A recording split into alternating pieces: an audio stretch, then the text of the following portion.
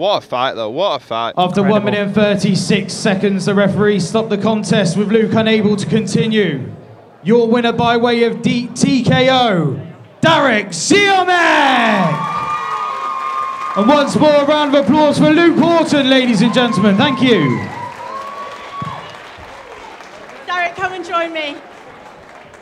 Wow, what a comeback that was. Talk me through the fight. How did it go in your head?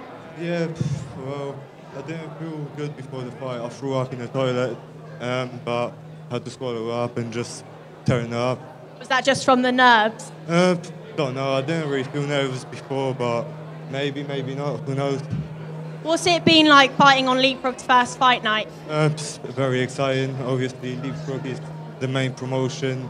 Um, like I mean, all the other shows, and this show, obviously, as you can see, one of the best in the UK, if not the best. What's next for you then regarding fighting for you this year? Well, um, talk to my coaches, either Mike or Andy, JD team. We can go anytime, anytime, anywhere. Anytime, anywhere. Listen, 56, that was 59. Three days notice, anything. you'll take on a last minute notice as well.